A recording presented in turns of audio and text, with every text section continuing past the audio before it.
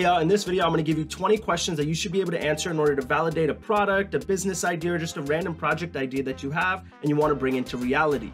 There'll be a ton of realistic examples along the way, so make sure to stay tuned until the end. Let's get started. See, I grew up in a small business family, so I know what it's like to have a thousand questions.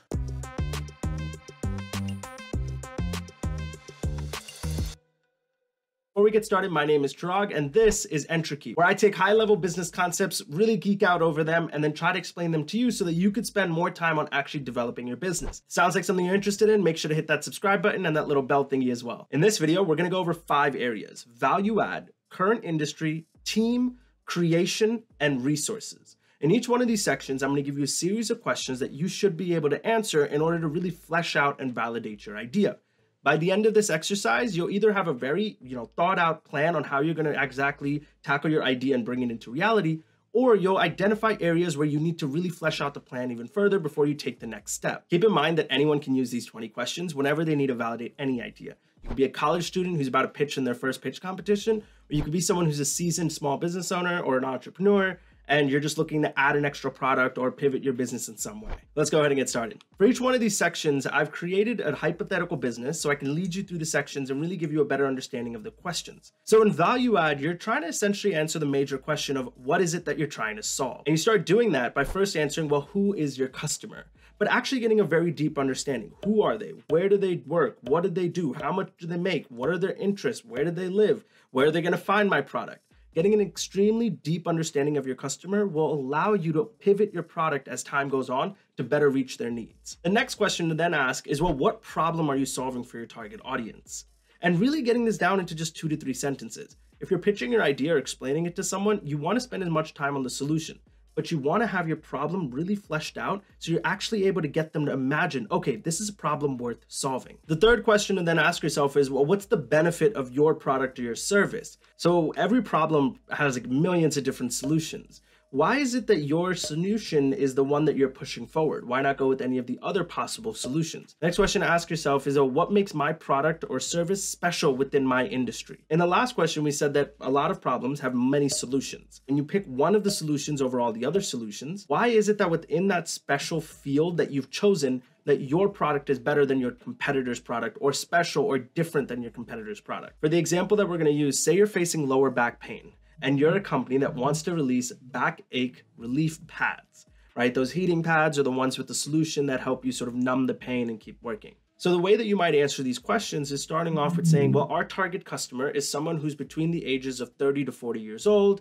They don't make more than $100,000 a year, so they can't afford back surgery. However, they do work at a job that requires them to sit around for at least six to seven hours, thus leading to the lower back pain. And they're looking for something that's quick, easy, that they can use after work and then even throw on underneath their clothes and then go to work. The problem we solve is this lower back pain that they're facing. The benefit of our product versus something like surgery is that ours is low cost and will allow them to keep going on with their day without having to take a large break from work. What makes our product special compared to our competitors is our special gel that has extra healing powers. What's the problem that I'm solving for them? What's the field of the solution that I'm taking for this option? And lastly, how am I different compared to the competition within my field? The second section is then going over the current industry. In this section, you're trying to answer the major question, what's already out there? First question you answer is, who is your initial customer? In the last section, we went over, well, who's your target or ideal customer? Sometimes it can be tough to get to that ideal customer immediately. When you talk about your initial customer, you kind of ask yourself, well, who is the easiest for me to be able to target? Who is most likely to be able to take a chance on this new product or this new idea? Most times, this is the people that are most frustrated with all the other options that are already out there. So they're more willing to take a chance on a new idea or a new product. The second question to ask yourself is what kind of industry am I entering? What are the characteristics of it? Is it fast moving? Is there a lot of regulation? Is it somewhere where the customers expect a whole lot of hand holding? Really getting an understanding of like, well, okay, what am I really signing up for? The third question to ask yourself is, what are there going to be barriers to enter this industry? Is it expensive to get started? Do I need to get some sort of licensing? Are there going to be fees to get started? The fourth question to ask yourself is, well, who are the major players? There's always going to be competition. And in fact, having competition is usually a good sign that your idea is worth pursuing because there's actually demand out there for it. But who are the major players and how much control do they have over the industry? Are they big enough to make big sweeping changes and immediately change the industry? Or are they competitive because of one specific thing? Or is there something that they're lacking that's causing frustration with their customers? you can capitalize on that. And lastly, how much demand is there actually out there for my solution? Are people already really satisfied with the solutions out there? Is there something that I can do to make my solution a little better or my product a little better? Can I actually identify a real number of people that I can expect to buy this product? For this section, let's use the example of you wanting to start a bakery. So the first question, who's my initial customer? Well, I know that my target audience is going to be individuals that are between the ages of 16 to 25 years old because they'll spend a bunch of time in the cafe with their friends, thus buying a bunch of expensive coffees and stuff. But in order to get them in, I know my initial customer is probably going to be the rush hour individuals in the morning that are going to work and need some coffee really quickly. So when I start off, I'm gonna first target on creating these really fast services that can give coffee to people who are in a rush, and then slowly start moving my business into actually inviting more and more younger generations in. There are barriers to enter this industry. I'm gonna have to register with the county. I'm gonna have to get a bunch of fees and certifications done. I'm gonna have to find a physical location.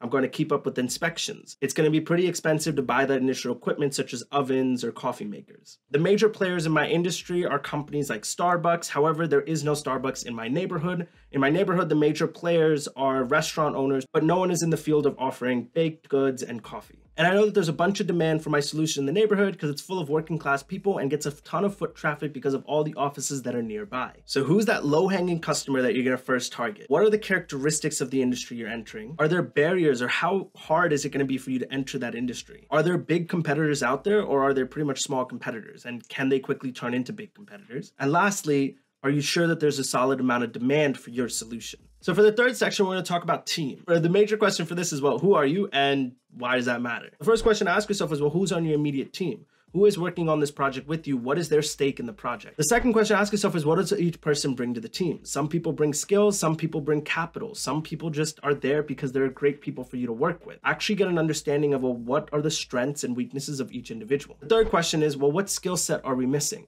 Hey, we have a bunch of people who can do X thing, but we also need someone who can do Y thing, which takes us into our fourth question can we upskill or do we need more people? So when you say that we have a bunch of people that can do X, but we need someone who can do Y, well, can one of those people learn how to do Y? Or is that something that you're gonna have to actually find someone to help you do? For this section, let's use the example of a social media marketing agency. You might say something along the lines of, I am X and I'm co-founding this business with Y. The skills that I bring to this is that I've had a large amount of experience of X plus years in the digital marketing field.